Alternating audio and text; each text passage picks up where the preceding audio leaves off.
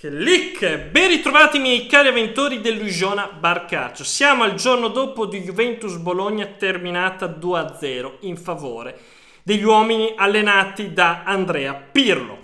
Che cosa quindi ci lascia a mente fredda? Perché questa mattina andiamo quindi a fare in questo video considerazioni a freddo di quello che ci ha lasciato la partita di ieri. E ci ha lasciato, come dicevo ieri a caldo, diverse considerazioni che è bene e utile fare, ok? Quindi, miei cari avventori, prima di iniziare vi rammento, tasto rosso, clic, iscriviti al canale dell'Usiona, fallo conoscere a tutti i tuoi amici di Fede Rosso Blu, va bene, mandagli un Whatsapp, scriviglielo su Facebook, su tutti i social, se sei iscritto a dei forum, condividilo anche su quelli e lascia sempre un mi piacino ai video dell'Usiona Barcaccio. Allora, a parte le carcere ferite perché usciamo per la nona volta in questo campionato con zero punti, va bene, ok. Quindi anche lì, eh, anche questa è una cosa che va registrata. Per carità, giocavamo contro la Juve, però è anche vero che in questa prima parte di campionato, perché si è concluso il girone di andata e vi ricordo, oggi pomeriggio attivate il campanaccio perché uscirà le mie considerazioni su questo primo scorcio ok, di campionato del nostro Bulagna, ok, quindi tutte quelle considerazioni rimandate al video di oggi pomeriggio. Quello che stavo dicendo è che quello che ci lascia appunto è non aver preso punti con nessuna grande squadra. Inter, Milan, Lazio, Roma, Napoli, Juve, mettiamoci anche l'Atalanta, va bene l'Atalanta, appunto, abbiamo pareggiato con l'Atalanta. Abbiamo fatto un punto. Abbiamo fatto un punto contro tutte queste squadre. Veramente troppo poco, a fronte anche di prestazioni deludenti contro altre squadre che invece avrebbero dovuto essere nettamente alla nostra portata. Adesso mi viene da pensare due su tutte, ad esempio Benevento e Spezia, dove abbiamo perso, dove abbiamo perso 5 punti se non erro. Quindi Insomma, eh, e vabbè, comunque, quello che ci ha detto la partita di ieri. Quello che ha detto la partita di ieri è quello che ci andiamo a raccontare ormai da non so quanto tempo e da quello che io già da quest'estate andavo a predicare nel deserto, facendo i cartelloni, ok? Ci vuole una punta. Com'è che la dirigenza non l'ha capito? L'avrà capito dopo la partita di ieri, perché anche l'aver fatto giocare Barro in posizione da punta centrale in queste ultime due partite non vorrei che sia anche un'indicazione da, da parte anche della dirigenza è andata a parlare con Mihailovic e gli avrà detto guarda Siniscia che noi Baro all'origine te l'abbiamo preso per farlo giocare da punta. Noi eravamo convinti di aver preso quella punta da 20 milioni perché comunque Barro ci è costato praticamente quella cifra. Ci è costato un polmone. Musa Barro ok? Musa Barro ci è costato non quasi 19 milioni 13 più bonus ok? E vedendo quello che dopo tutto, dopo una stagione e mezzo, Musabaro sta portando a Bologna, che lasciatemelo dire, a mio modo di vedere, ha anche bloccato la sua crescita. Ormai Musabaro è un caso, lo so che purtroppo sono ridondante sopra questo argomento, ma lo, lo devo essere perché qui il compito di questo canale è anche cercare di aprire gli occhi laddove si riesca a farlo un po' prima rispetto al tabellino di marcia. La dirigenza si deve rendere conto che abbiamo un problema, abbiamo due problemi anzi, due problemi. Il primo problema è alla luce di tutti ormai. Manca una punta, manca una prima punta. Stiamo giocando un campionato praticamente senza punta centrale, perché stiamo affidandoci a Palacio che di anni ormai ne farà 39 tra poco Devono, fuori dai coppi secondo me. E ieri nella partita contro la Juve si è vista la mancanza di una punta. Avete visto Quadrado che a momenti ci stava per fare un super gol davvero bomber di area di rigore. Ci manca quella posizione lì, ci manca una presenza costante in area. Un giocatore che attacchi la profondità, che faccia sportellate, ok? Che sia dominante ci vuole un giocatore dominante là davanti. Lo capiamo o non lo capiamo? E lo capiamo che la soluzione non può essere un giocatore, adesso ne dico uno tanto per dire, non può venire da un Zuwiderski. Zwiderski non potrebbe mai essere la soluzione per risolvere il problema gol qui a Bologna. Ci vuole un giocatore che i gol li sappia fare, ok? Che sappia già fare a sportellate, ok? Perché abbiamo già troppi giovani. Abbiamo anche già Vignato che adesso stiamo facendo giocare come ala sinistra per far giocare Barro punta centrale. Non ci serviranno altri giovani, ci vogliono giocatori di sostanza che ci possono far emergere già oggi, ok? Perché altrimenti cadiamo in più problematiche, perché abbiamo la problematica della punta e la seconda che vi stavo dicendo, per non perdere il filo del discorso, c'è un problema Musa Barro, ragazzi, c'è un problema Musa Barro. Non so se avete notato, ma che giochi punta o che giochi alla sinistra, ok, il suo ruolo naturale, ma c'è un problema perché sta, si sta involvendo, il ragazzo non sta più, non sta più crescendo in termini di prestazioni, anche in termini di gol cioè, la, la, l'anno scorso eh, ne ha fatti, ne ha, ne, Dio, per carità, c'è ancora tutto un camp- metà campionato da giocare, mi può smentire.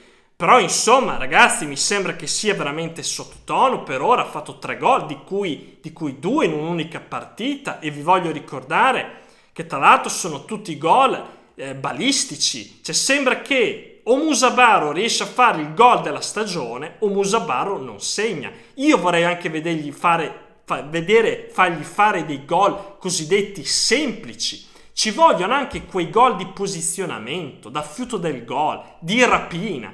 Musabaro non ce li ha, perché Musabaro non è quel tipo di giocatore. E non vorrei, e qui mi allargo un po' nel discorso, che su Musabaro lo so che parlare dopo qua è semplice ed è anche il motivo per cui cerco di farlo adesso un po' prima magari rispetto a quando apriremo magari gli occhi. Io spero di sbagliarmi eh, ragazzi, spero di sbagliarmi, ma incomincio a pensare che su Musabaro ci sia stato un po' troppo ottimismo, ok? E che forse 19 milioni, tutto sommato quel giocatore lì non è che magari li valesse veramente. E quindi cerchiamo un attimo anche di capitalizzare al massimo quello che riusciamo a fare con lui. E io vi dico una cosa forte. Io a giugno se c'è da sacrificare dei giocatori io un pensiero a Musabarro se ancora il Borussia Dortmund ce lo viene a chiedere io lo faccio eh. io lo farei perché Musabarro non è quel giocatore secondo me che ci potevamo attendere che potesse essere. E... e perché non è poi neanche più giovanissimo ragazzi. I, gli anni passano eh, anche per loro. Uno ha 23 poi ne ha 24 e poi un batter d'occhio ne ha 25 prendete Balotelli che sembra che sia ancora giovane ragazzi ha 30 anni suonati una mai una carriera rovinata quindi adesso per carità non sto parlando di Musabaro in questi termini però ecco, voglio un attimo accendere gli occhi e le orecchie della nostra dirigenza e capire che qua bisogna intervenire e andare a prendere qualcuno, una punta. Ma io quando dico di andare a prendere una punta, per carità adesso sarà anche difficile perché siamo al mercato di, di, di gennaio e al mercato di gennaio le punte forti non le prendi, siamo d'accordo, ok? Quindi anche lì stare adesso a prendere un Sanabria, uno che poi alla fine ci porterà 4-5 gol se ci va bene, per carità è meglio farlo che non farlo, visto e considerato che magari si riescono ad ottenere dei prestiti secchi con diritto di riscatto e quindi è meglio averli quei 4-5 gol piuttosto che non averli. Però quello che voglio dire è che a noi serve un giocatore, una punta da 15 gol. E per avere una punta da 15 gol, ragazzi, non mi stancherò mai di dirlo, non si può andare all'S, ah, non all'S lunga, alla Lidl, all'Ins a prendere ok? Un attaccante in saldo, perché quei tipi di attaccanti che trovi all'Ins e alla Lidl c'è un motivo per cui stanno su quegli scaffali, ok? Bisogna alzare il tiro, va bene? Se vuoi un giocatore giovane, lo puoi andare a prendere giovane perché diventa futuribile, ma devi anche andarci a smenare 20 milioni. Se tu vai a prendere, faccio un nome per farli tutti, un Pat Sondaka, va bene? allora magari hai anche più possibilità che un giocatore del genere possa veramente emergere. Viceversa, se mi vai a prendere uno Swiderski, si fa difficile ragazzi, si fa difficile.